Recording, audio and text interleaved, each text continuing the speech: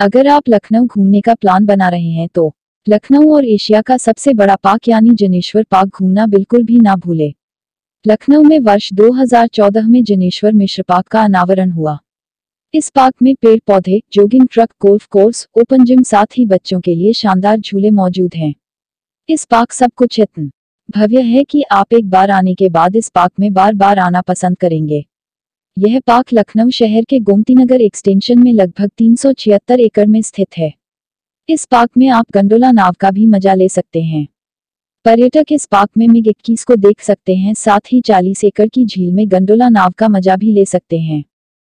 यह boat Italy की अहम विरासत में से एक मानी जाती है, जिसे जैनेश्वर मिश्रा पार्क में स्थापित किया गया है। यह पार्क समाजवादी नेता और छोटे लोहिया के नाम से विख्यात जनेश्वर मिश्र के नाम पर बना है। जनेश्वर मिश्र पार्क में लंदन की तर्ज पर लखनऊ आई झूला भी लगने जा रहा है। यह झूला 45 मीटर ऊँचा तथा 41 मीटर चौड़ा होगा। इस झूले पर बैठकर पर्यटक लखनऊ के हवाई दर्शन कर सकेंगे। झूले में 36 कैप्सूल होंगे, जिनमें प्रति कैप्सूल में आठ लोग बैठ सकते हैं। इतना ही नहीं, पर्यटक इस झूले में पार्टी भी मना सकते हैं और साथ ही कैंडल लाइट डिनर का आनंद भी लिया जा सकेगा। ये अपना पूरा एक चक्कर करीब 50 मिनट में पूरा कर।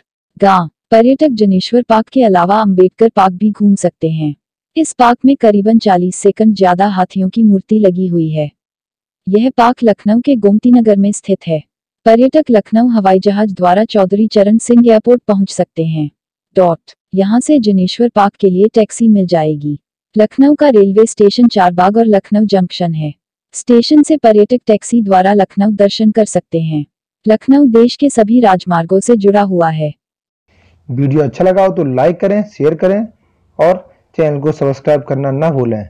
और हाँ दोस्तों, अगर आपके पास कोई सवाल या सुझाव है तो कमेंट बॉक्स में ज़रूर लिखें। धन्यवाद। जय हिंद, जय भारत।